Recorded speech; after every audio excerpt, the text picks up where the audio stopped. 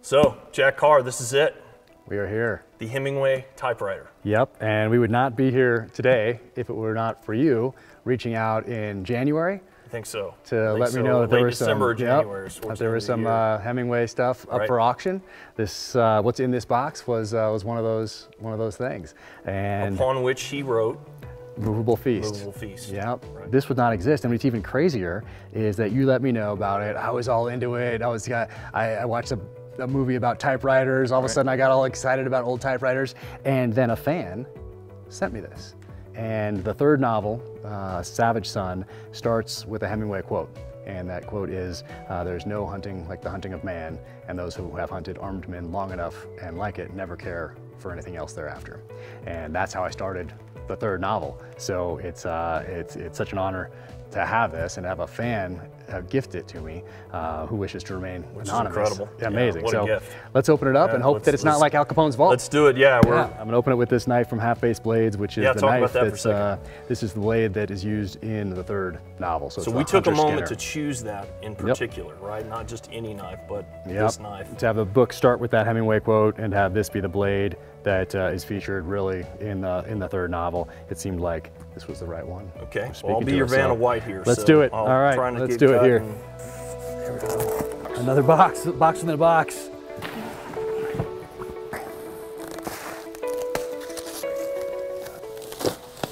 Whoa, no way. Ah, look at that. That's incredible. Well, should give it a shot. There you go. Let's see. Let's see. I'm just going to go with the fact that the last guy that typed on this was Ernest Hemingway. so be very thoughtful about Let's go. Uh, Can we get a letter? Oh, we did. Look at that.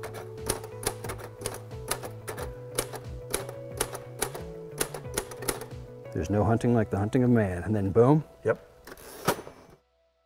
So I want to talk today about your new book, Savage Son, right? Yes, sir. It's your third book. It did start out with a Hemingway quote, so it's It appropriate that we're sitting by Papa's uh, typewriter. But the story itself was, I think, an amalgam and an homage, as you mentioned when the book came out, of two stories that I also read. That, as in talking, we we Yeah. noted that we read at about the same time Yep. in our life, and that is uh, Richard Connell's um, "The Most Dangerous Game," That's right. as well as Louis L'Amour's "Last of the Breed." That's right. That's right. Yeah, even back in sixth grade, I knew, well, I knew back then that I wanted to serve my country in uniform as a SEAL and then eventually write fiction in this genre. Kind of like all the books that I was reading at that stage by guys like David Morrell and Nelson DeMille and A.J. Quinnell and J.C. Pollock and Mark Olden and all these guys in the 80s that really taught me how to be a writer by showing me what I liked to read. Um, but even back then in sixth grade when I read Most Dangerous Game, I knew that one day I would write a novel that paid tribute to that short story. And- and how I wanted to start with it actually. I wanted to start with this. Savage right? Son was the one I wanted to start with. So when I when I started down this path and made that decision in my head very deliberately that uh, I am transitioning from the military and I'm now an author. I'm now a writer.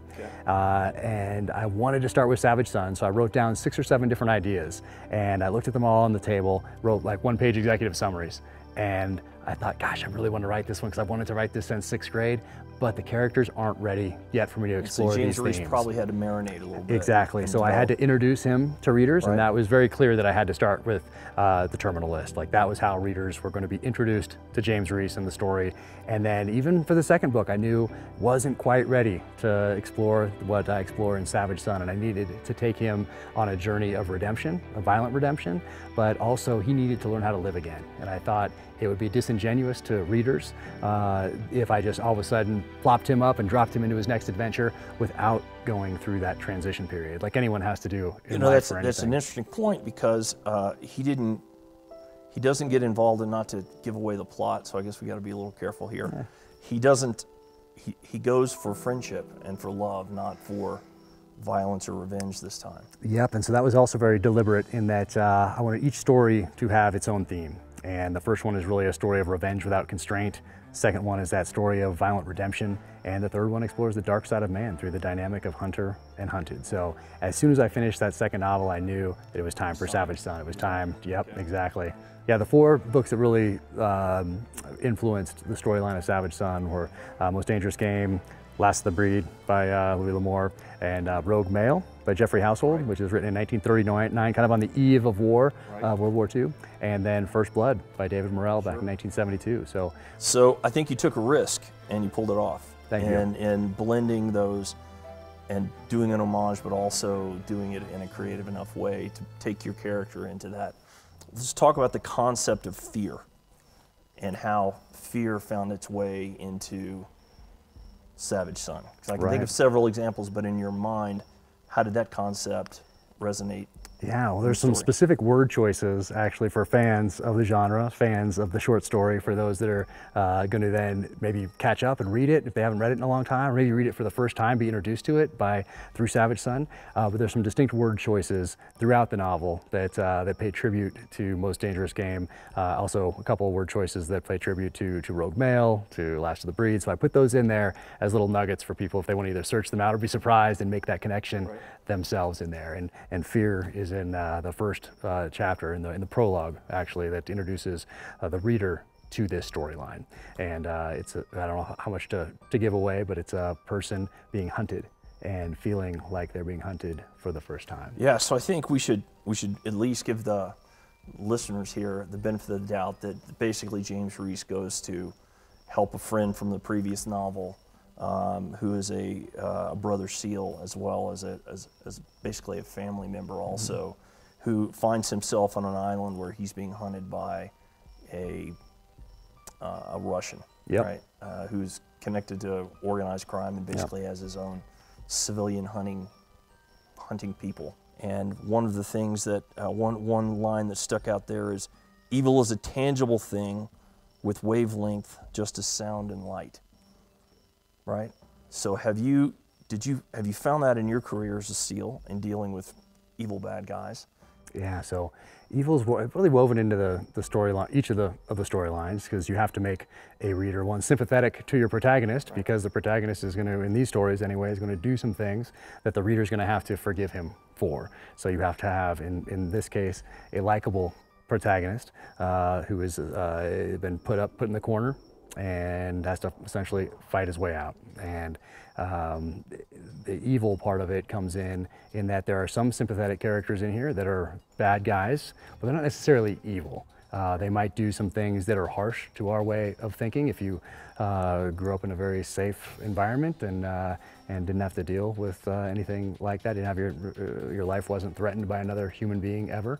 Um, so there are some semi-sympathetic characters that fall on the, the bad guy side yeah. of things. Uh, but then there are also evil characters, and uh, and that is is who I'm dealing with at the start of this novel in the prologue, and who is uh, one of the antagonists that uh, that moves the story forward uh, as well. But he is uh, yes connected to organized crime, connected to, to Russian intelligence services, but he also has a sickness uh, in that he needs to hunt people. Right. James Reese was acting out of emotion for the most part, right? In in certainly in Terminal without a doubt, and now the needles pivoted the other way, right? Oh yeah, yeah, no, absolutely, and that's uh, that's where I continue to go into book four is explore that even further because now I don't want to give too much away, but uh, uh, now he's at that stage where he has to make a decision. What's he going to do next? Like he's in that decision-making phase in Savage Son, but now he has to actually make the decision of what he's going to do moving forward with his life in this fourth novel that's, uh, that comes out next April. I really enjoy writing uh, kind of the author's note, the preface to these things. Uh, all three have been very personal so far, and uh, not just the preface, but the actual writing. And I thought when I started that it was just going to be uh, a story that people would take out of Hudson News on their way to their flight, and then you know fly to the Bahamas and have a great beach read. And as soon as I started writing, I realized that it was going to be a much more personal endeavor, and I was going to take things that happened to me in Iraq and Afghanistan and take those emotions behind those events and apply them to a completely fictional narrative. And in the preface, and I've had so many people reach out to talk about the preface, and I've had veterans and I've had law enforcement guys that have been involved in shootings reach out and say that, man, those prefaces really meant a lot to them. Interesting. Give me an example. And because I talk about how it, it's okay, like what we did downrange is natural. And a lot of times we have been programmed to think that if you do certain things that are natural, that would have been natural for most of human existence, whether that's defending yourself, your tribe from another tribe, another person, um, or hunting, put food on the table to, like we were here because we had ancestors that were good at both of those things. And they used the same tools for both. Uh, the very same tools that you defended the tribe with were the same tools that you put food on the table with.